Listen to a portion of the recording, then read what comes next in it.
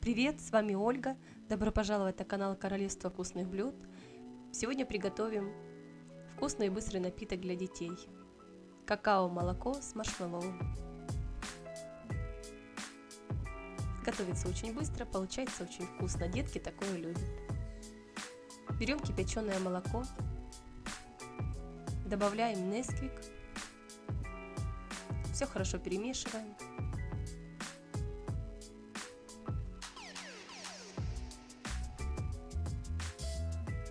Сверху добавляем разноцветные маршмеллоу.